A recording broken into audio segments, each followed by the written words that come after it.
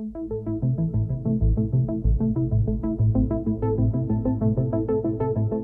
renovations that we've made to the showroom provide customers with an immersive brand experience designed to make them feel at home, serving as a space where they can share their passion for the prancing horse. Today, we've enhanced the showroom with several new offerings for our clients to enjoy. We have a wonderful atelier lounge where customers can relax, have a coffee and feel at home. Additionally, we have a heritage wall where we can provide customers with some of Ferrari's memorabilia from yesteryear. Also, we have an interactive TV wall where customers can be updated with the latest news of all things Ferrari. Finally, we have a video wall where customers can watch Formula One races, come and share events and time with us here in the showroom.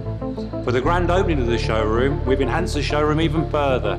We have some very special Ferrari on display today.